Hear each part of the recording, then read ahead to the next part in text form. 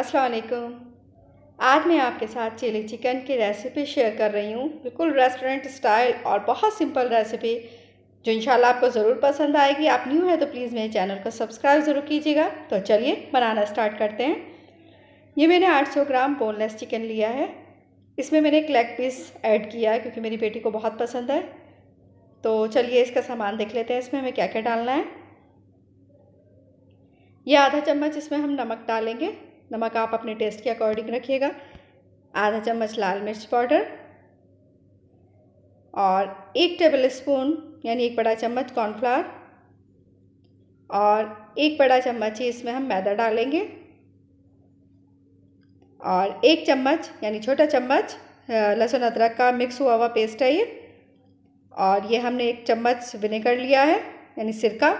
और दो पिंच के करीब ही हमारा फ़ूड कलर है। अगर आप फ़ूड कलर नहीं डालना चाहते तो आप कश्मीरी लाल मिर्च डाल सकते हैं इसमें।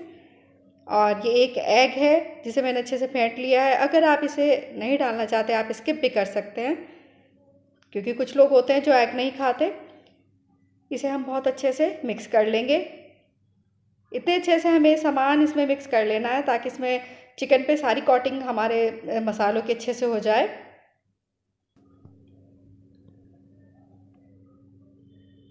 बहुत अच्छे से इसे हमें इस मसालों को अच्छे से मिला देना है और ये आपके ऊपर डिपेंड करता है कि आप इसे रेस्ट के लिए कितनी देर रखेंगे। मैं तो एक घंटे के लिए रखूँगी इसे। अब कवर करके एक घंटे के लिए मैं इसे फ्रिज में रख दूँगी। आप ओवरनाइट भी रख सकते हैं, आप हैंड टू हैंड भी बना सकते हैं, अगर टाइम नहीं है। तो चलिए और चीज़ें देख लेते हैं। ये एक बड़े साइज़ की शिमला मिर्च है, जिसे मैंने चकोर चकोर काट लिया है। और ये प्याज भी मैंने बड़े साइज़ का ही लिया है। इसके बीच का जो हिस्से हैं, वो हमने छोटे छोटे जो हिस्सा बच जाता है, उसे भी हम मसाले में ही यूज़ करेंगे वेस्ट नहीं करेंगे। ये देखिए, एक शिमला मिर्च मैंने छोटी छोटी काटी है बहुत। यानी जैसे ऑमलेट कट होता है ना प्याज इसी तरह से, और एक मीडियम साइज़ के प्याज को भी मैंने ऑमलेट कट काट लिया है। और इसी में वो प्याज हमने ऐड कर लिया जो उसके बीच का हिस्सा बचा था। ये देखिए, दो मिर्च है ये, लेकिन ये मोटी मिर्च है। यानी इसमें तीखी नहीं होती तो इसलिए ये ज़्यादा लग रही है। आप अपने टेस्ट के अकॉर्डिंग रखिएगा मिर्च। और ये एक टेबल स्पून के करीब हमारा लहसुन है, कटा हुआ बारीक, और एक टेबल स्पून के करीब ही हमारा अदरक है। इसे भी हमने बहुत बारीक बारीक काट लिया है। देखिए, एक घंटा हो गया है। अब ये एक चम्मच हमने, यानी बड़ा चम्मच कॉर्नफ्लावर का लिया है। इसका हमें स्मूथ सा पेस्ट बना लेना है, यानी पतला सा। इसे बहुत अच्छे से मिक्स कर लेंगे। और इसे पेस्ट को तैयार करके हम एक साइड रख लेंगे। इसका यूज़ मैं आपको बाद में बताती हूँ कि कहाँ पर करना है। ये ऑयल गरम कर लिया है, अब इसमें हम चिकन फ्राई कर लेंगे। चिकन हमें गोल्डन फ्राई करना है।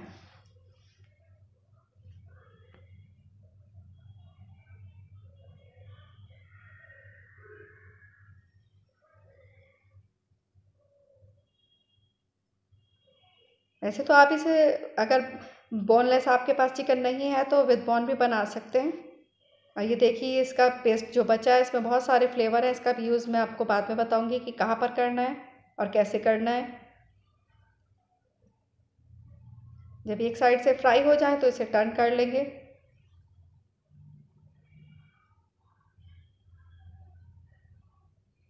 गोल्डन ब्राउन ही हमें इसे फ्राई करना है।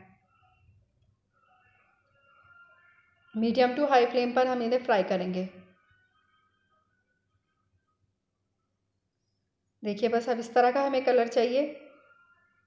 अब हम इन्हें निकाल देंगे इसमें से।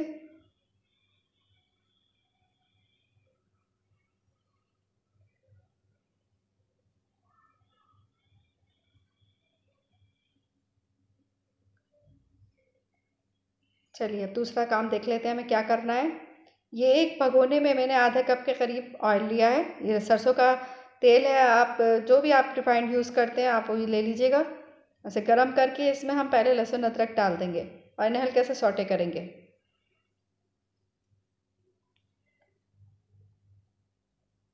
अब इसमें हरी मिर्च डाल देंगे। कुछ कुछ सेकंड्स के लिए हम इन्हें सोटे करेंगे। यानी हल्का हल्का सा भूनना है, बस ज़्यादा हम इनका कलर नहीं चेंज करेंगे। अब इसमें हम कटे हुई शिमला मिर्च और प्याज डाल देंगे जो हमने बहुत बारीक काटे हैं।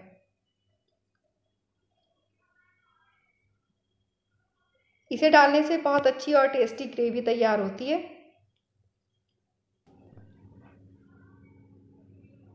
ये हमने एक चौथाई चम्मच अजीनो मोटो लिया है, आधा चम्मच सोया सॉस है और एक चम्मच चिली सॉस है, आधा चम्मच हमने विनेगर लिया है और आधा चम्मच ही इसमें हम नमक डालेंगे। क्योंकि नमक हमने चिकन में भी डाला है और दो टेबल स्पून इसमें भर कर हम टमाटर सॉस डालेंगे, यानी टमाटो केचप।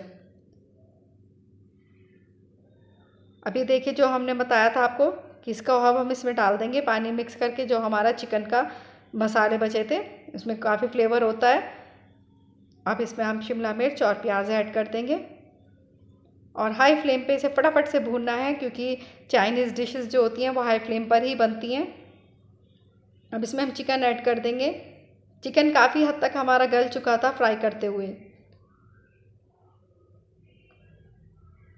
खूब अच्छे से इसे भून लेंगे हम, ताकि मसालों के इसमें चिकन में भी आ जाए स्मेल टमाटर सॉस इसमें हमने टेस्ट किया तो कम लगा, इसलिए हम टमाटर सॉस और डाल दिया है। ये कॉर्नफ्लावर है, जो हमने पानी मिलाया था कॉर्नफ्लावर में, वो डाल देंगे। इसे बहुत अच्छी सी ग्रेवी बन जाती है। और बहुत अच्छा टेस्ट आता है। अब हम इसे ढककर सिम फ्लेम पर पाँच से सात मिनट तक पकने के लिए रख देंगे। अब देखिए पाँच से सात मिनट हमारे हो गए हैं ऑयल भी रिलीज़ हो गया है इसमें। और बहुत अच्छे से हमारा चिकन भी पक गया है।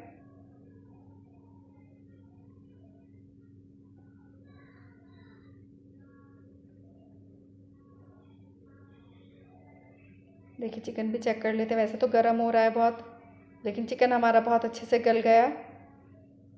बस अब हम इसे ढक देंगे और सर्व करने के लिए तैयार है बस अब हमारा सालन। देखिए, अब हम सर्व कर देते हैं इसे।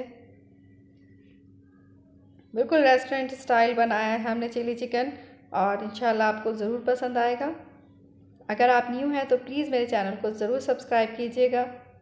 आपके मोटिवेशन की हमें बहुत ज़्यादा ज़रूरत है। और कमेंट बॉक्स में बताइएगा कि आपको मेरी रेसिपी कैसी लगी। ऐसे आप जब ट्राई करके देखेंगे इसके टेस्ट का तो आपको अंदाज़ा तभी होगा।